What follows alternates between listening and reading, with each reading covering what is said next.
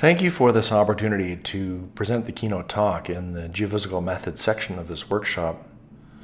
I love seismic imaging and structural geology, and in, these types of areas, uh, seismic imaging is lost without an understanding of structural geology, and we really need the seismic image to understand the subsurface structures. So I'm going to talk about seismic imaging in fold and thrust belts, I've got a bit extra time uh, with the keynote talk, so I'm going to give a bit of theoretical background as to what the, the define the imaging problem. Basically, difficult imaging areas require collaboration and geoscience integration to get an optimized image of the subsurface. So, the seismic imaging problem. When we record seismic reflection data, we don't know where that reflection, reflector energy originated. We need to know the velocity structure of the subsurface to image the seismic data. But if we already know the subsurface structure, then we don't need seismic data. And that's the, the problem we have to face generally with, uh, with the seismic experiment.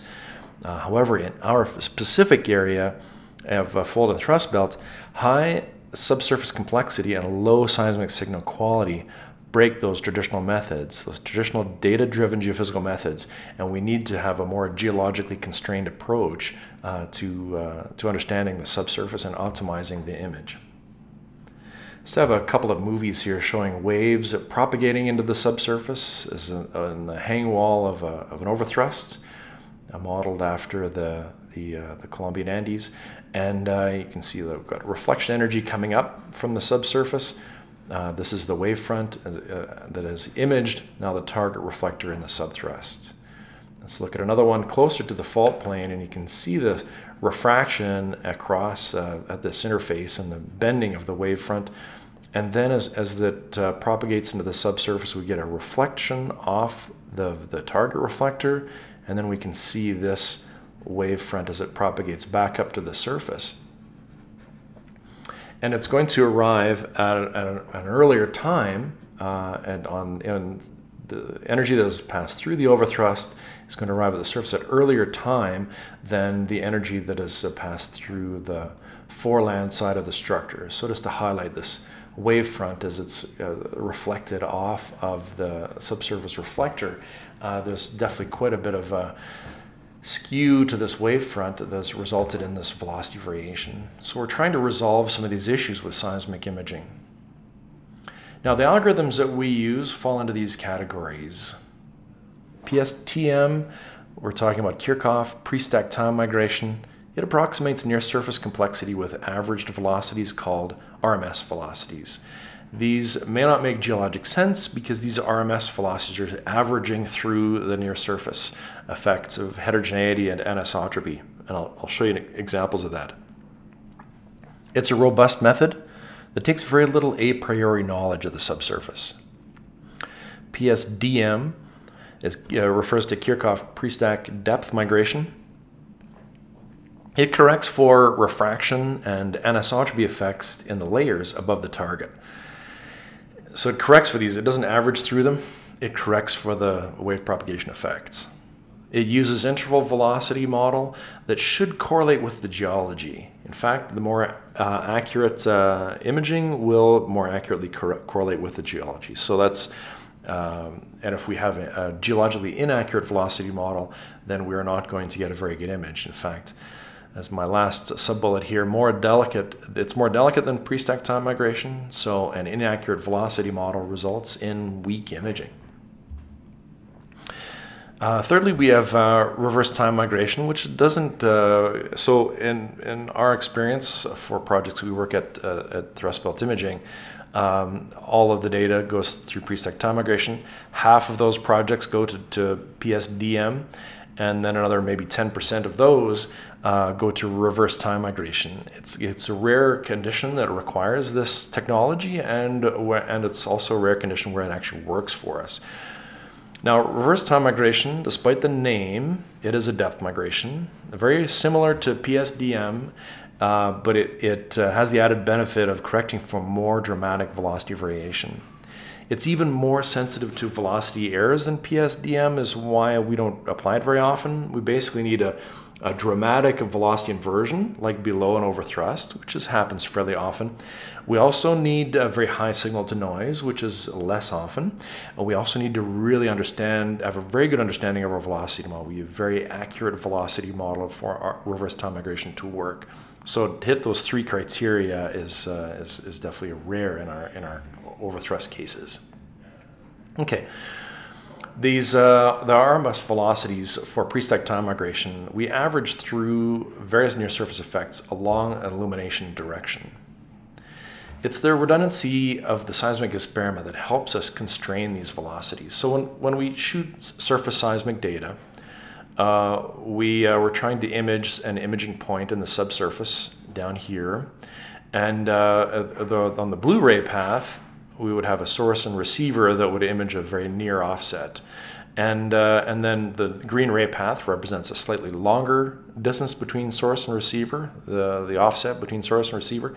And then as we get out to the red, which is our maximum, the warmer colors here, then we've got very long offset. Now, those ray path lengths get longer so then any velocity errors are going to be uh, much greater on the long offsets than the near offsets. So we rely on this redundancy in the seismic experiment um, to help constrain the velocities. So here's an offset image gather. Offset is increasing from left to right. So we've got these longer offsets on the right.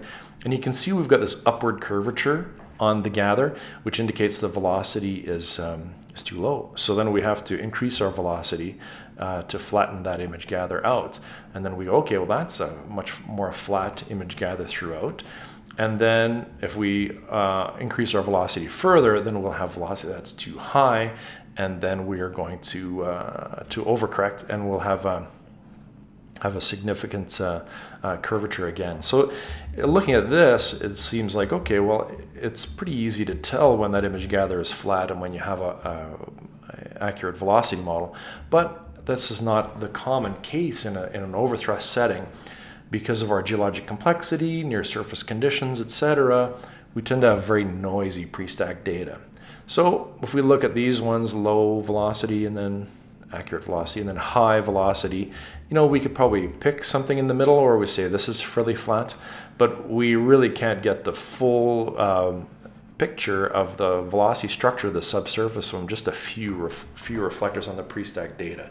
So we rely on the structural geology and we rely on analyzing different model scenarios uh, to see how the um, how the different velocity models are going to uh, affect the seismic image. So let's stick with pre-stack time migration for now. The PSTM velocities.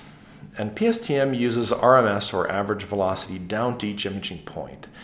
It initially was developed really as a, as a simplification, approximation, save computer runtime back when computers were expensive.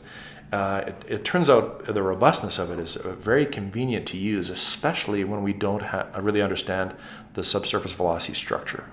So we don't have a lot of constraints on the velocity model. Pre-stack time migration is a robust method for that. So the PSTM velocity is a processing parameter that may or may not correlate with geological or petrophysical parameters. And generally it doesn't because we're just averaging through all the various effects. It's also dependent on the reflector dip because it averages along the illumination direction. And I'll show you what that, what that means with this cross-sectional example. So let's imagine we've got this brown uh, exploration target in the subsurface. We've got low velocity rocks on the right high velocity rocks or a thrust, an overthrust to surface on the left. And, um, and let's imagine that we've got this back thrust uh, above the target that we want to image as a, as a constraint on our interpretation. Okay, so if we got a nice reflector off of that, it's going to be illuminated with rays that are, are pointing uh, to the right. So source and receiver is off to the right, are going to, the energy is going to go down and, and image this back thrust and back up to the surface and be recorded at the surface over here. So the velocity to image this back thrust is going to be low. And uh, the, if we want to image the back limb of the target reflector, these rays are going to pass through this high velocity overthrust structure. So there'll be a reduction in travel time along this ray and, and, the average velocity down to this imaging point is going to be much higher because it's these the illumination direction is going to see this higher velocity material. So then you can imagine if we try to uh, average through, we've got low average velocity to here and then high average velocity to there.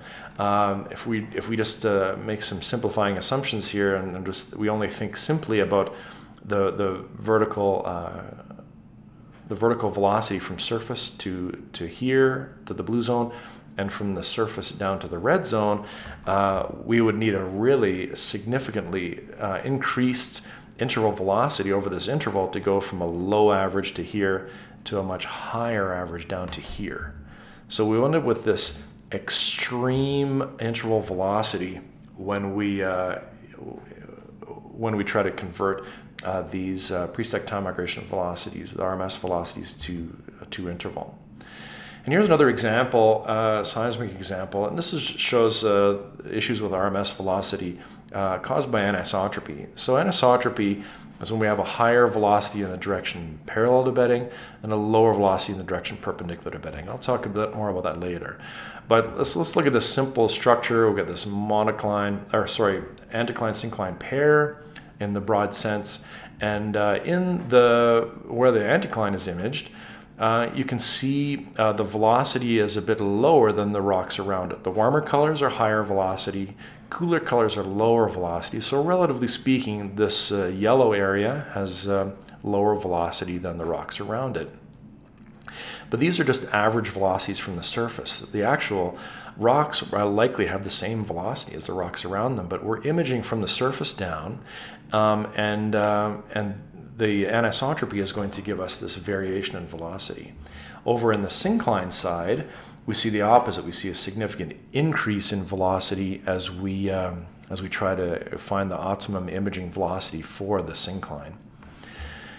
And the reason for this is this anisotropy effect. So we've got this higher velocity in the direction parallel to bedding and a lower velocity in the direction perpendicular to bedding. And of course that bedding uh, orientation is changing significantly across the, across the line.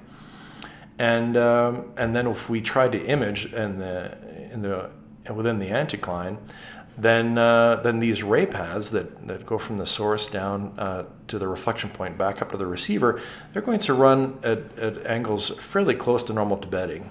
In fact, throughout they're going to they're going to the uh, imaging direction is normal to bedding. So the the RMS or average velocity down to this imaging point is going to be lower than the rocks around it because they're going to image at different angles. And in the syncline, that's where we can see that the most dramatic change. The average velocity down to this point in the subsurface uh, is going to be higher because the imaging angle is at, at an angle oblique to bedding, almost parallel to bedding on this side, and about 45 degrees to bedding on this side. So it's going to see a higher velocity at, that averages down to here to optimize the imaging. And then if we take this uh, RMS velocity field and we try to calculate intervals, then we get all these uh, dramatic uh, variation going on. Um, and, uh, and this is non-geologic. I mean, it's the same rock layer here and down here and up here. So we would expect this to have the same interval velocity. But because we've calculated this from uh, an, average velocity, um, then it, it's not necessarily going to make geologic sense, even in that simple structure. Okay, now how do we get this, uh, this velocities? I said, hey, this is where we find this optimized uh, imaging velocity. Well, how do we get there? Well, this is a, a tool we call Vel, VelAnal for Vel velocity analysis. And we've got this velocity picking window over here on the left, and I'll just kind of kick this movie off here, and we're going to animate between velocities that are too high, too low, too high, too low. And, uh, and as we go back and forth, we can find where we've optimized the imaging. So now I can make picks in, in the velocities of the shallow section. That's where I think the imaging is optimized. The right half of the screen shows a composite image of those pick velocity panels. So you can see the imaging in real time gets updated with each pick as we as we as I attempt to optimize the imaging of this 2D seismic line. Now I'm going to make the picks on this on this horse structure here and, uh, and optimize the imaging of that.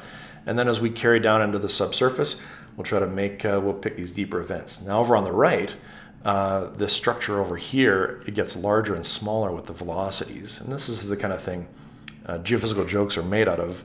Uh, the, the, geophysics gives you the structure, the size that you want.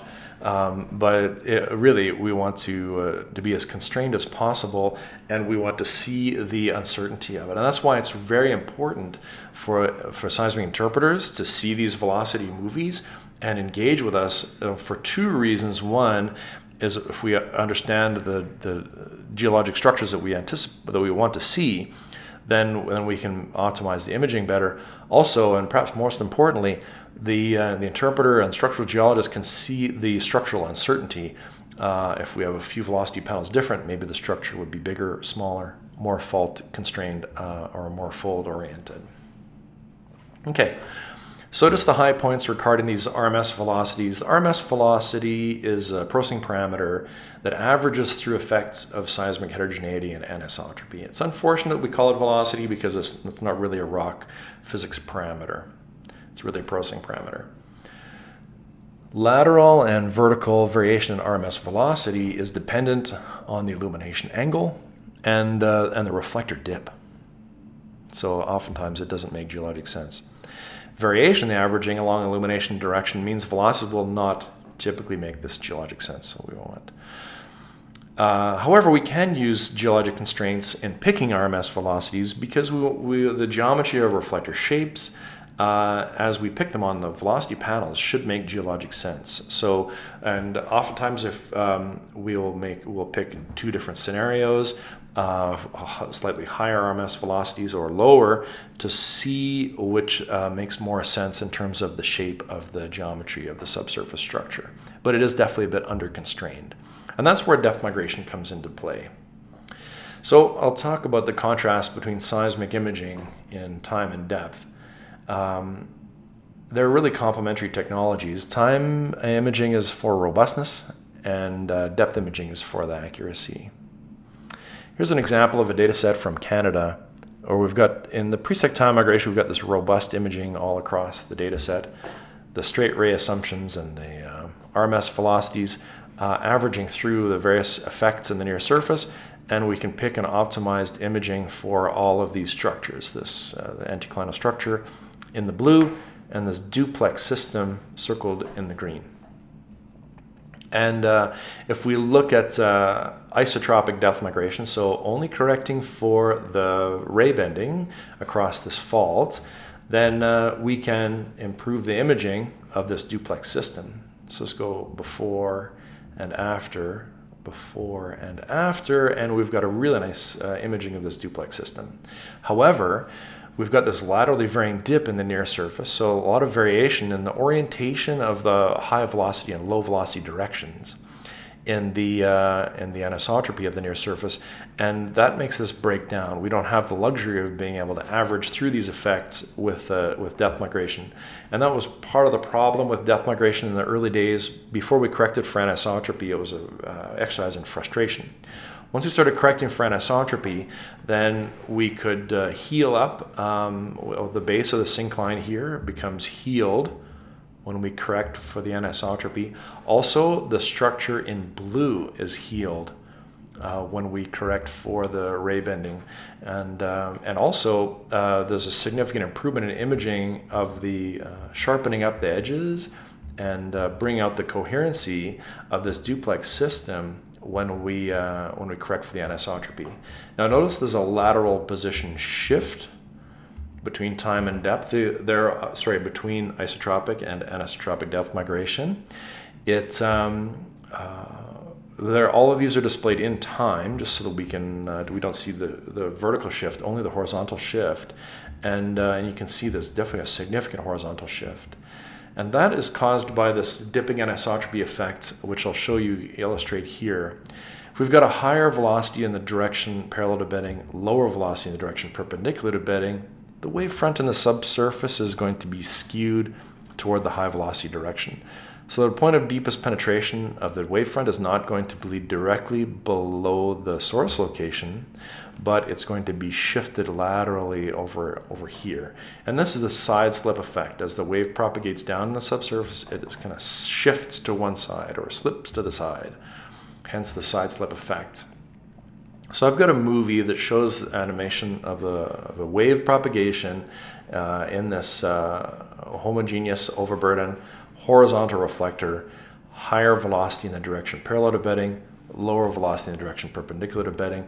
And as the energy propagates into the subsurface, it impinges on the interface at this point,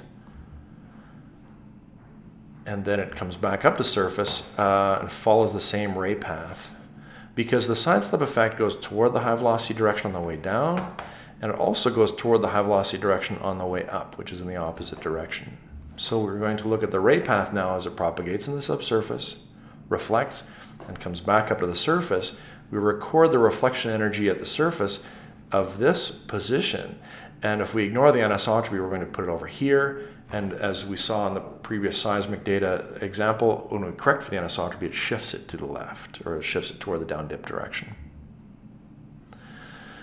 So that's another important thing that we want to uh, correct for in, in depth migration. So let's compare, before we talk about depth migration velocity model building, let's compare uh, time and depth imaging. With time, we nearly always get a clear basic image. With depth, it's predictive, uh, so that it needs this accurate model to image. The delicate nature of it is uh, helps it to be predictive.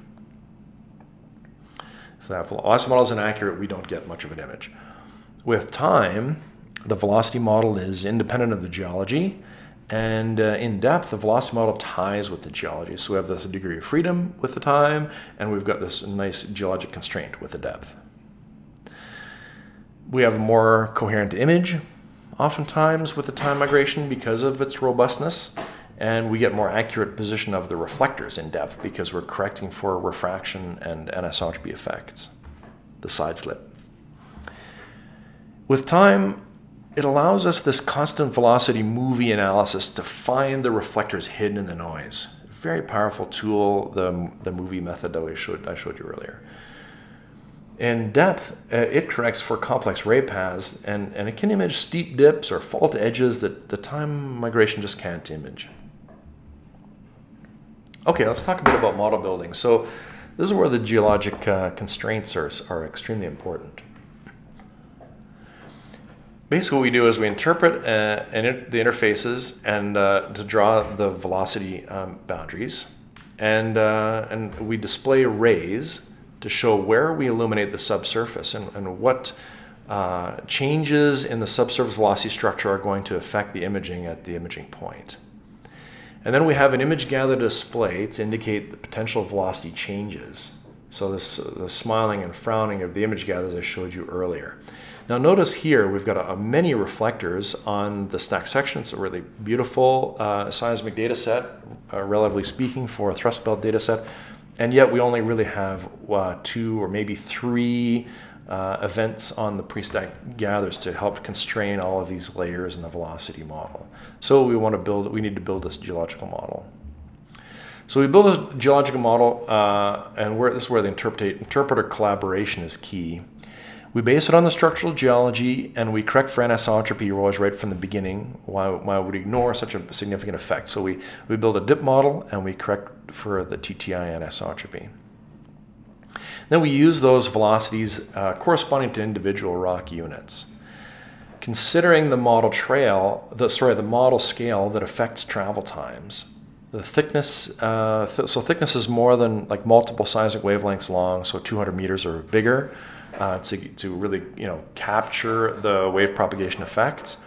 And uh, the sensitivity of imaging to the model velocity decreases with depth. So it's more important for us to have an accurate representation of the near surface velocities than, than the subsurface velocities.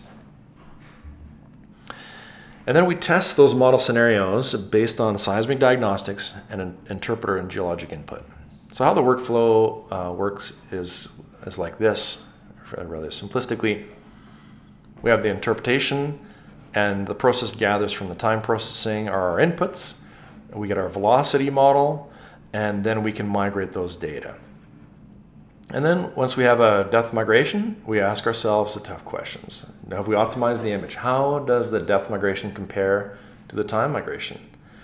And do the wells tie? Is, is the size of reflector depth uh, the same as what we observe at the well depth? And typically the answer to these questions are no. Uh, if we knew the subsurface velocity structure perfectly, we would not need depth migration in the first place. Um, so we have to revise our interpretation based on well missed ties, based on any diagnostics we use from the seismic data, based on what we see comparing the time and depth images. We come up with a different interpretation, different model scenario, build a new velocity model, migrate again. And then we go around the circle six, eight, maybe 10 times until we've optimized the velocity model. And then we just do some simple uh, coherency enhancement, kind of some makeup, if you will, to tidy up the image and, um, and create the final SEG-Y volume. Just a bit of residual move out on the gathers and a coherency filter. So here's a data example from northern uh, Colombia. This is a flower structure on the Rio Zulia field we published a number of years ago uh, with Ecopetrol. And um, this is the interpretive model building display, and we're just trying to get as much information as we can. This is a tool, uh, software called OpendTect, which is actually uh, free to download, and, uh, and their business model is we can purchase uh, plugins for it, which we have. Um, the um, uh, what we've got here, we've got the seismic data from the 3D volume. Overlaid is the color of the uh, velocity structure that we interpreted uh, based on uh, our understanding of the, of the structure and the wells in the area. There's several wells across this 3D. And you can see we've got a lot of reflectors on the 3D volume that are, look beautiful, but the pre-stack data only shows uh, four or five uh, at the key boundaries. It is nice to use this as a constraint. These are pretty good looking image gathers, relatively speaking, uh, but it, it, we, it's not enough information to get this detailed velocity structure that we need to optimize the imaging. And we've got a well uh, that we're using for well ties to these different reflectors that also helps constrain our velocity model. So here's the, the, the sonic uh, from, from one of the wells across this block. And, uh, and they, the sonic trends do offer some degree of freedom. As you, you, can see we've got some level of uncertainty. If we just want to block off these layers, we can follow the, follow the trends however we'd like. And uh, this is the, the velocity trend that optimized the seismic imaging. Um, follow the trends this way, a little bit, a little bit um, uh, lower velocity over the upper, um, over the upper layer, a little, uh, and, um, and, and, a little bit higher velocity over the next layer, and then kind of followed down the middle of the rest of the, uh, the rest of the, um, the intervals here. But we've got these gradients in our velocity model and these velocity contrasts at the boundaries.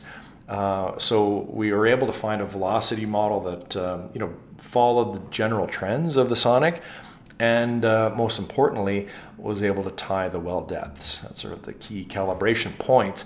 Is that the velocity model that gets the, the relationship between the time, uh, the seismic time, and of course the well depth um, is uh, is really a key um, a key calibration point and a key constraint uh, to the uh, velocity model. Now, finally, just to wrap this up with uh, uh a really interesting case history uh, from a 2D data set in the, in the Colombian Andes and, uh, and, the, and the end of the Llanos Basin. In the foothills there, the Piedemonte, um, we've got we've got high signal to noise on this 2D line. we've got really good RTM results in the strong signal areas and the Kirchhoff pre-stack depth migration is more robust in the area of higher model uncertainty.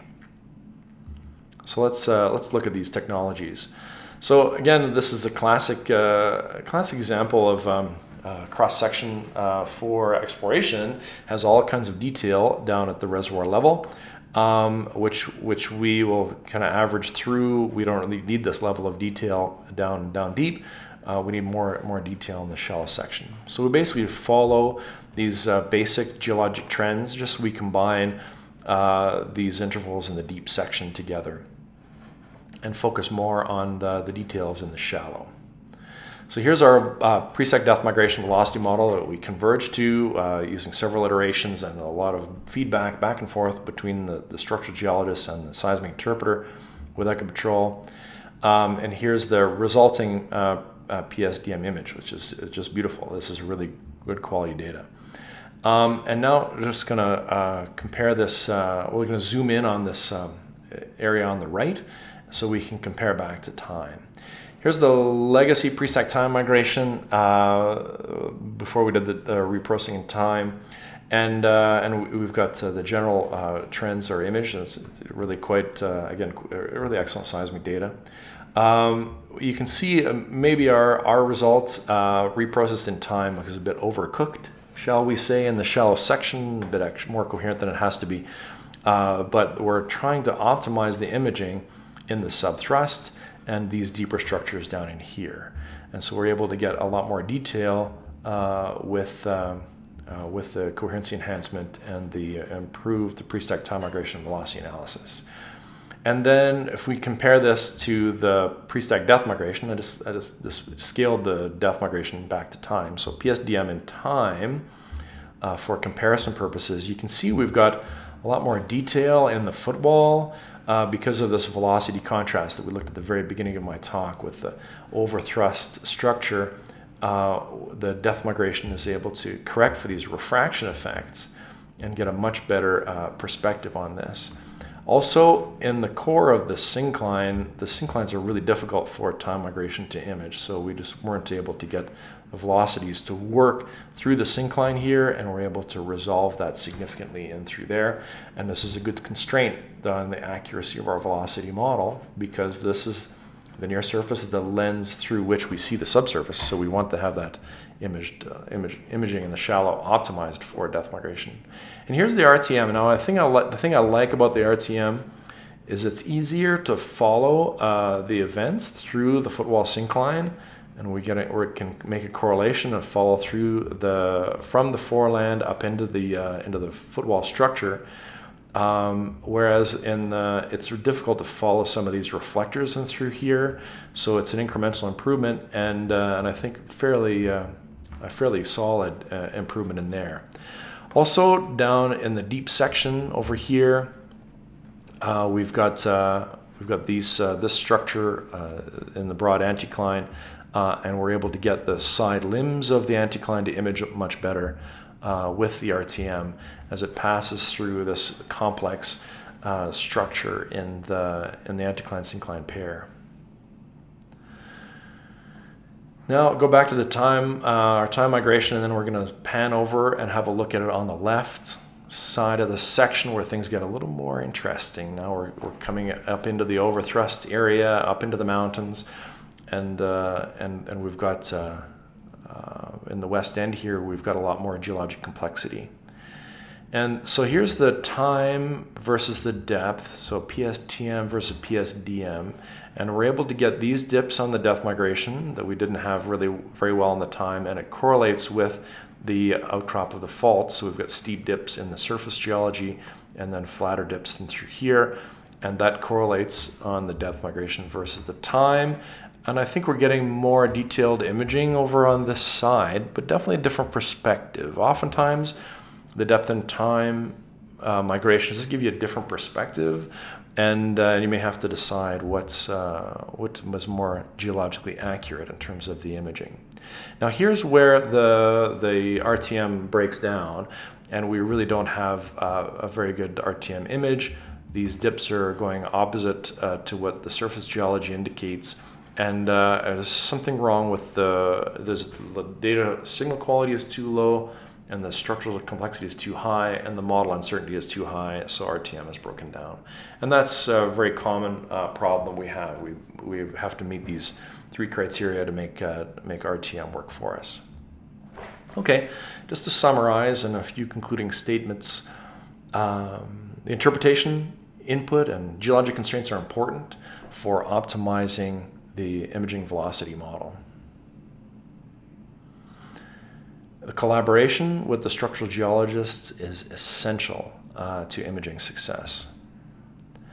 Beneath the complex velocity structure with strong signal, the deeper events improved in coherency and geometry with increasing improvements in imaging technology from uh, kind of on a spectrum from PSTM to PSDM to RTM. But the RTM broke down in the area of model uncertainty and low signal to noise. So one thing we just the overall trend we observed is that we, you know, as we increase um, our you know high fidelity methods uh, we increase both accuracy and sensitivity. They become uh, more accurate, but also more delicate as we go from PSTM to PSDM to RTM. Thank you for your uh, attention.